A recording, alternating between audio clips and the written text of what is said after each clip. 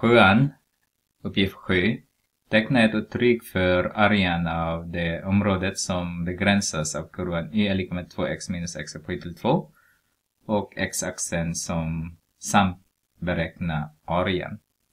Så har vi här nu då eh, har vi y är lika med 2x subtraherat med x upphöjt till 2 jag behöver nollställe på den, så alltså y är lika med noll. Det behöver jag. Varför det? Den, ska, den skulle se ut så här. Jag vet inte om det skulle se ut så. Därför att vi har negativ där. Så jag behöver den punkten och den punkten så att jag kunde räkna där. Okej? Okay? Så, så har vi 2x subtraherat med x upphöjt till 2 är lika med 0. Så har vi x, så har vi 2 subtraherat med x är lika med 0. Då är det 0. x av 1 är lika med 0.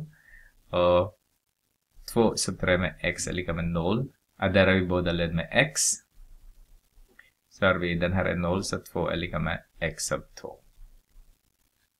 Så ser ni att min min figur är fel. Så har jag där istället. Så. Och det här är 2. Så, nu är vi redo. Arean är lika med 2x subtraherar integralen av 2x subtraherar med x upphöjt till 2 parentes dx från 0 till 2. Så ger, ger oss 2x upphöjt till 2 dividerat med 2 subtraherar med x upphöjt till 3 dividerat med 3 från 0 till 2. Vi har x till båda så vi behöver inte tänka på 0. Vi behöver bara tänka på 2. Därför när det är 0, det är allting är 0.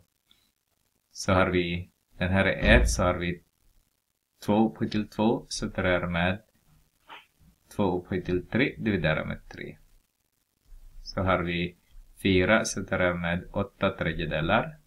Om vi förlänger med 3 så har vi 12 minus 8, det är 4 tredjedelar. Och då har vi arga enheter. Och här är den första frågan. Och här är den andra frågan.